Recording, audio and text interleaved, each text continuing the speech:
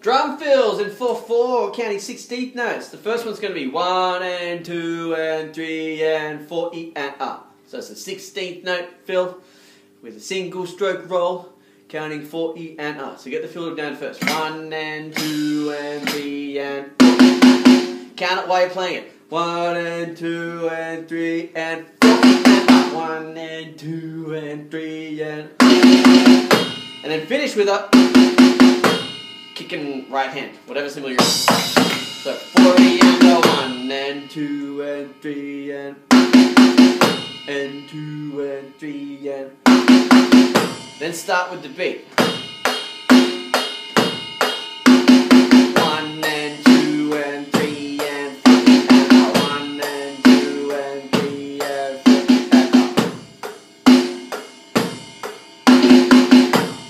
Matter what speed you're playing it at, as long as you're counting, it's going to be fine. 1 and 2 and 3 and 4 and 1 and 2 and 3 and Once you're comfy um, playing that, orchestrate it differently. Instead of going snare, snare, snare, snare, maybe go snare, snare, tom, tom. So start with that. One and two and three and four and one and two and three and and two and three and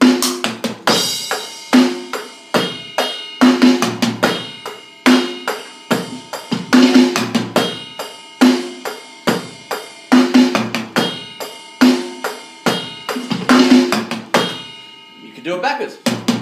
So four E and up. One and two and three and four and up.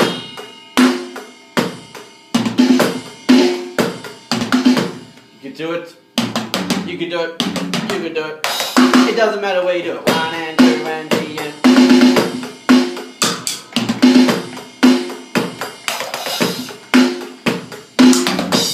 Okay, second fill will be counting on three. So three E and a four E and so the fill's going to go for twice as long. Count like this: one and two and three E and a four E and a one and two and three E and a four E and a one and two and one and two and.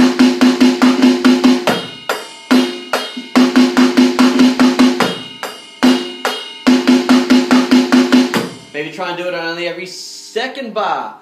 One and two and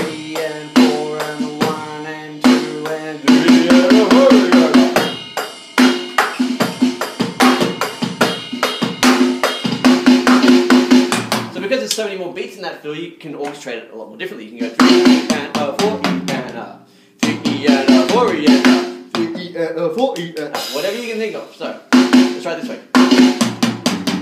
One and two and three and a four and two and.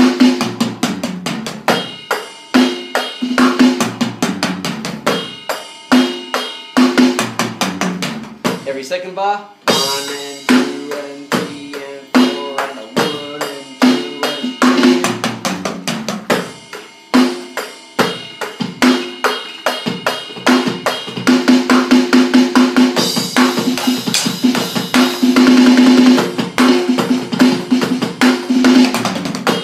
it slow, count along. It's all good.